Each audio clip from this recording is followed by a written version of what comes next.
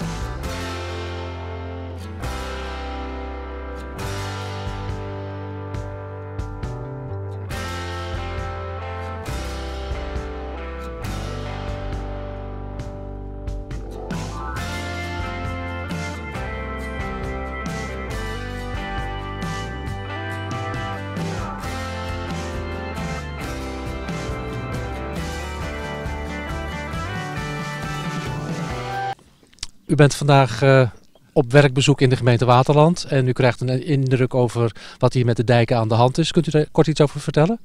Ik ben uh, net in Uitdam geweest. Uh, daar spelen weer heel andere vraagstukken. Het gaat ook over versterking van de dijken, maar andere oplossingen dan hier in Marken, waar de bewoners eigenlijk een beetje de oplossing van Uitdam willen hebben, namelijk een beetje meer richting de waterkant versterken.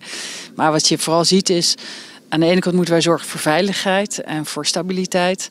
En aan de andere kant moet je rekening houden met cultuurhistorische waarden. Want alles ligt hier natuurlijk prachtig uh, ingepast. Ja, en hoe ga je dat doen? Hoe vind je daar nou een goede technische oplossing voor? Ja. Je moet eigenlijk een afweging maken tussen aan de ene kant de belevingswaarde van de mensen en de veiligheid voor onze hele bevolking.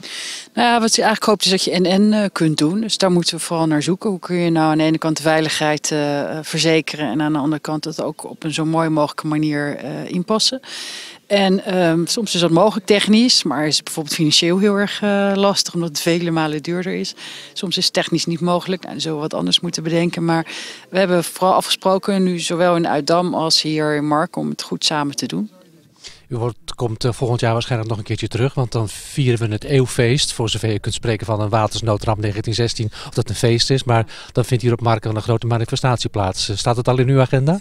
Nee, uh, ik heb, ben ook nog niet uitgenodigd door de burgemeester. Maar dat zal ze misschien. Dan moeten we er misschien nog voor zorgen. dat zal ze misschien zo gaan doen. Nee, maar ik, ik heb inderdaad begrepen dat in, in 1916 hier eigenlijk de laatste uh, ramp gebeurd is. Daarna is het natuurlijk nog wel eens overstroming geweest, maar niet meer met die gevolgen. En uh, wij staan er eigenlijk in heel Nederland steeds bij stil. Want het is ongelooflijk belangrijk dat, ook al zijn we nu heel erg goed uh, in het verdedigen van onszelf tegen het water, dat we toch steeds bewust zijn dat we in een speciaal land wonen. Wat toch voor een deel kunstmatig gemaakt is.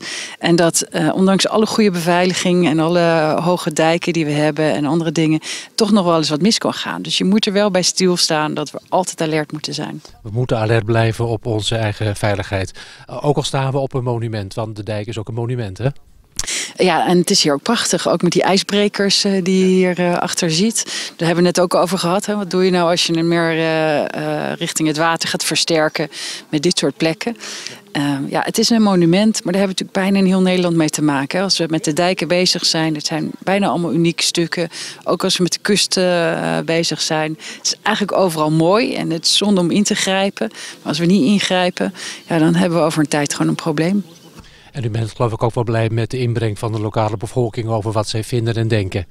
Ik vind het hartstikke goed, eh, zowel in Uitdam als eh, hier in Marken, hoe uh, actief men meedenkt, hoe actief men meepraat. Um, zonder ook uit het oog te verliezen dat er ook een nationaal belang is, namelijk de veiligheid. Dat die dijken ook echt stabieler gemaakt uh, moeten worden.